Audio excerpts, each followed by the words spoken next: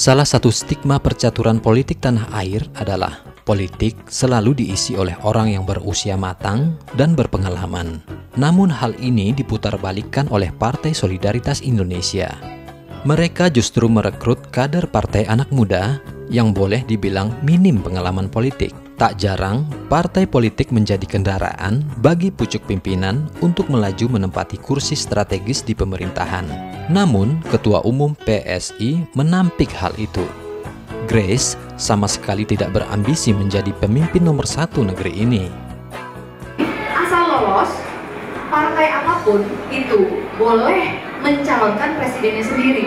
Jadi di PSI kami semua nggak ada yang punya niatan buat jadi presiden, sama sekali nggak tapi kami ingin justru pada pemilu 2019 nanti kalau ada tokoh yang bagus oleh karena itu saya dan teman-teman di PSI membuat PSI karena kami ingin memberikan tiket capres kami kepada siapakah itu nanti yang kami dan rakyat nilai bagus. Bukan kami yang menilai kita bisa pakai metode survei misalnya. Survei itu teman-teman kalau dilakukan oleh lembaga yang kredibel hasilnya sangat akurat gitu. Jadi kita bisa lihat masyarakat itu sebenarnya dukung siapa. Nah itulah ide besarnya gitu ya.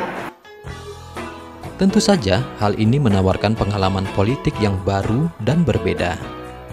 Partai Solidaritas Indonesia yang berkonsep anak muda ini menjadi pembeda di antara partai-partai politik yang ada.